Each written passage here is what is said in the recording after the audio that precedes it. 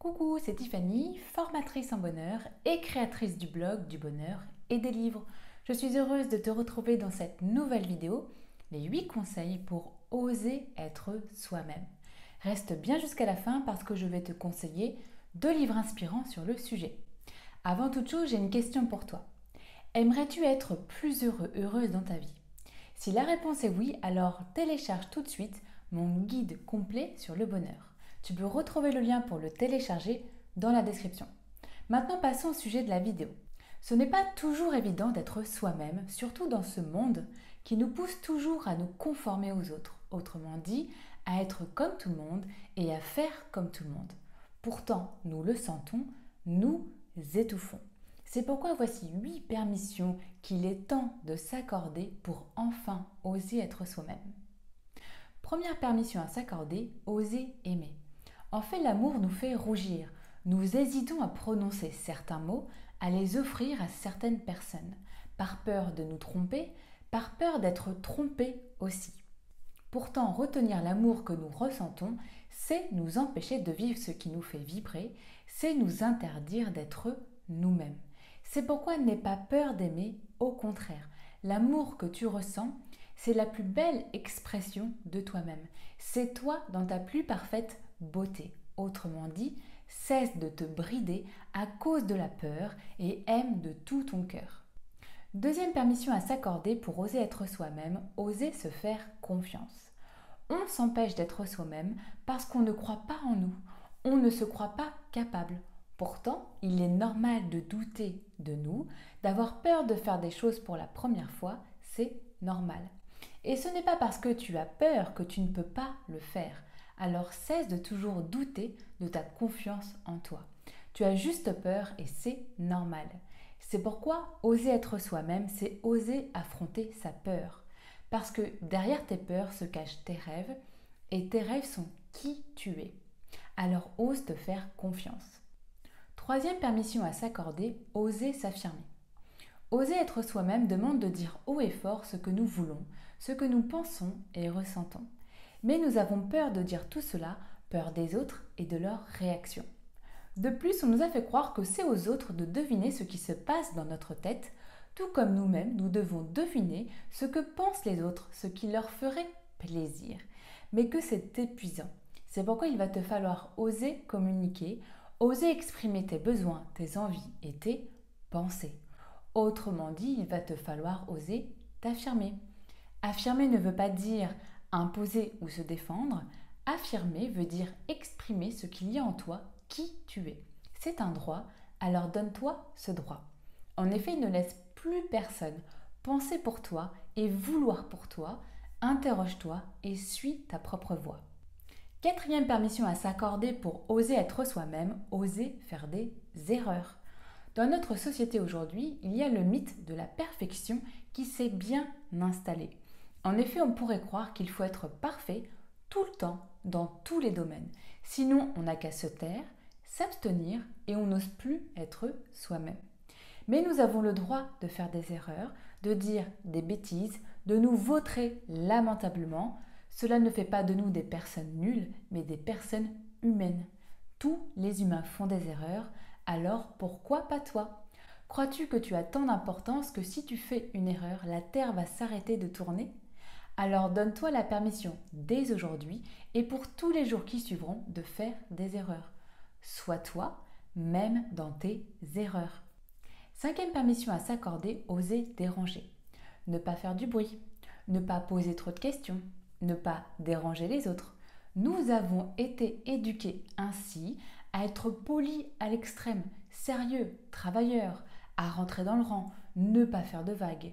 C'est pourquoi nous avons peur de déranger les autres et que nous n'osons même plus être nous-mêmes.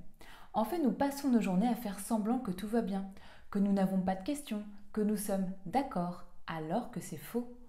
Autrement dit, oser être soi-même, c'est oser prendre le risque de déranger les autres.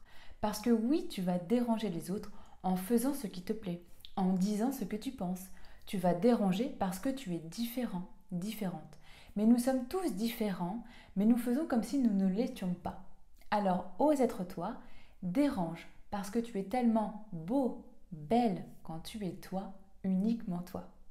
Sixième permission à s'accorder pour oser être soi-même, oser prendre le risque de décevoir. Nos proches voudraient que l'on soit comme eux ou qu'on le fasse mieux qu'eux dans la vie. Ils ont tout un tas de projets pour nous. Ils nous voudraient avec des qualités que nous n'avons pas toujours. Et nous voudraient sans nos défauts que nous avons trop souvent. Tes proches veulent plein de choses pour toi, mais sans jamais te demander vraiment ton avis. Mais toi, que veux-tu? Parce que c'est la seule question à te poser. C'est pourquoi pour oser être soi-même, il faut oser prendre le risque de décevoir ses proches. Septième permission à s'accorder, oser rire et pleurer. Ce n'est pas toujours évident de vivre nos émotions, surtout dans ce monde où les émotions gênent. En effet, rire trop fort et pleurer gêne les autres. Pourtant, ces émotions sont des élans de notre cœur.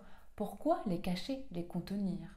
C'est pourquoi je t'invite de tout cœur à laisser ton rire contaminer le monde de joie et à t'autoriser à pleurer pour penser tes blessures. En effet, oser être soi-même, c'est cesser de sourire quand nous avons envie de pleurer, c'est cesser d'être sérieux quand nous avons envie de rire. Autrement dit, cesse de faire semblant et ose être toi. Huitième et dernière permission à s'accorder pour oser être soi-même, oser aimer, aimer de tout son cœur. En effet, je le répète parce que c'est vraiment le plus important, aime, aime de tout ton cœur. Oui, n'arrête jamais d'aimer qui tu es, ce que tu fais, où tu te trouves et les personnes qui t'entourent. Aime sans relâche, aime sans limite. Tu es ici pour ça, rien que pour ça. C'est pourquoi enlève tout le sérieux de ta vie, toutes ces conditions que tu te mets pour être quelqu'un de respectable et de respecté. Ce n'est pas le plus important. Seul l'amour importe. En fait, tu n'as besoin de rien d'autre que d'être toi-même pour être aimé des personnes destinées à t'aimer. Voilà, c'était les 8 permissions à s'accorder pour oser être soi-même. Je te les rappelle rapidement. 1. Ose aimer. Arrête de te brider à cause de la peur de te tromper ou d'être trompé. 2. Ose te faire confiance. Tu as juste peur et c'est normal. Affronte ta peur au lieu de la fuir. 3. Ose t'affirmer. Ose dire clairement ce que tu penses, ressens et veux. 4. Ose faire des erreurs, ose dire des bêtises et échouer. 5. Ose déranger, ose aimer ce que tu aimes vraiment, même si les personnes qui t'entourent n'aiment pas. 6. Ose prendre le risque de décevoir. N'écoute pas ce que les autres veulent pour toi, toi, que veux-tu? C'est ça le plus important. 7. Ose rire et pleurer, ose vivre tes émotions, même si ça gêne les autres. 8. Ose aimer de tout ton cœur. Je répète ce conseil parce que c'est vraiment le plus important. Aime sans relâche et sans limite Souviens-toi que tu n'as besoin de rien d'autre que d'être toi-même pour être aimé, des personnes destinées à t'aimer. Voilà, dis-moi en commentaire si ça t'a plu et clique sur j'aime. Et pour finir, je te conseille deux livres inspirants sur le sujet. Tu peux retrouver les liens pour te les offrir dans la description. Le premier, La voix de la connaissance de Don Miguel Ruiz. C'est un livre magnifique qui puise dans les connaissances et les légendes toltèques pour nous aider à être nous-mêmes et à avoir de meilleures relations avec les autres. Je te le conseille de tout cœur car c'est un gros coup de cœur. En fait, ce livre a changé ma vie. Et le second livre, S'affirmer et communiquer de Madeleine Baudry et de Jean-Marie Boisvert. C'est un livre de développement personnel qui fait du bien, car on apprend des tas d'exercices pour nous affirmer tout en construisant des relations plus saines avec notre entourage. Je te le conseille de tout cœur car ce livre m'a appris à être moi-même au milieu des autres. Je te remercie de tout cœur d'avoir regardé cette vidéo. Si tu as aimé, clique sur j'aime et abonne-toi à la chaîne. En attendant la prochaine vidéo, souviens-toi, le bonheur ne s'attend pas, il s'apprend. Salut